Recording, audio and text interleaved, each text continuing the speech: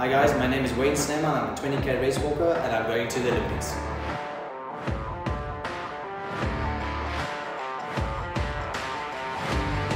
My journey started when I was very young, I think 16 or 17 years old. Uh, I came back from an injury, actually hurdles injury, and uh, I had to rehab my hamstring. And uh, during that process, the doctor advised me, or the physio advised me to start walking, do race walking. And during that process, I actually started training with the longer distance guys. And um, in the next event, there was an event in Potchefstroom, which I competed on the 3,000 meter race walk. And the same night, I won the 110 hurdles and the 3,000 meter race walk. So that's where my journey started as a race walker. Um, I think more or less the age of 16. If you look at my body type, I'm a very lean athlete. Uh, I'm not uh, two meters, 120k monster. So I think I had to go in more of a long distance uh, shape, but I, I kind of long, uh, enjoyed the long distance.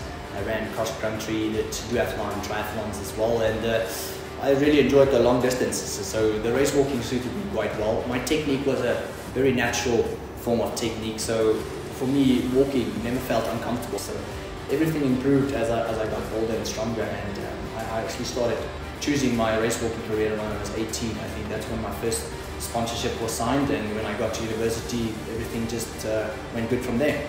Currently in a heat room trying to train and trying to adapt to conditions.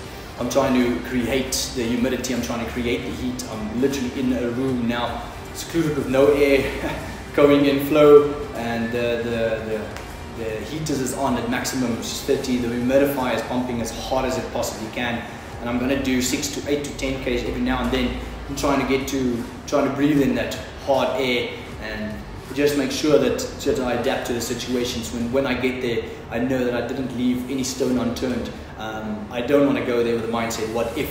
Um, I literally tried everything. I made everything a positive and literally every single situation they gave us, I spun it and beat create, uh, got creative, made it my own and, and got training done. That's it. Sacrifices the last five years have been, been really, really hard. Um, I actually work as a full-time teacher, so some of the years that I think 2019, I, I worked full-time and trained full-time, which was absolutely so tough. Um, I had to wake up every morning at 3.30, wake up, train from 4 to 6, then go to school from 7 to 2, pick up my son, uh, try to stay awake from 4 to, uh, from 2 to 4, train from 4 to 7 again, and then go to the gym. So days got pretty long. Some days I, I literally fell asleep just after 7 coaches, local coaches started supporting me. They came coming out to my training session, supporting me giving me water, riding with bikes. Um, local runners, local walkers are coming up, um, asking how they can support me.